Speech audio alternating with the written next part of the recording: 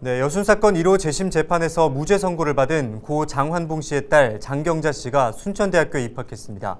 4학과 2학번으로 정규대학 과정을 마치고 여순 지역 학과가 개설된 대학원까지 진학하겠다는 포부를 밝혔습니다. 서경 기자의 보도입니다.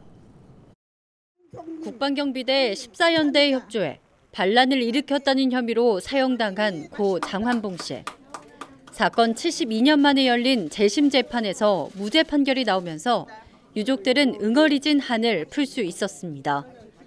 아버지의 사진을 들고 법정에 섰던 딸 장경자 씨는 지난해 수능을 치렀습니다. 왜곡된 현대사를 바로잡기 위해 대학 진학을 목표로 세운 겁니다.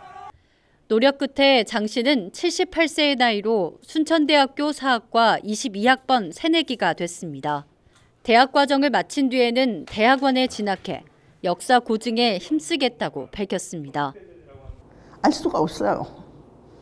유족 유족 당사자가 모르는데 이 역사를 누가 누가 알겠어요. 그러면 이제 모르면 역사를 모르면 그런 일이 언젠가 또 되풀이 되지 않을까. 끝까지 해서 어, 학문적으로 바로 잡고 싶은 그런 마음이죠. 장 씨가 입학한 순천대는 석사 과정으로 여순 지역학과를 신설했습니다. 여순 사건의 진상규명과 희생자 명예회복의 기회를 확대하고 지역 인문학 역량을 강화하기 위해 개설됐습니다. 여순 지역학과는 사학과와 법학과 등 6개 학과 교수진이 참여하는 협동 과정으로 여순 사건이 발생했던 1948년 당시에 정치, 경제, 사회 분야 연구와 교육을 담당하게 됩니다. 어, 특히 여순 사건과 관련해서 이 여순 지역학 협동 과정을 중심으로 해서 좀 더 연구가 심도 있게 진행이 됨으로써 어, 그 역사적 평가를 어, 다시 해볼 수 있는 그런 기회가 되면 좋을 것 같습니다.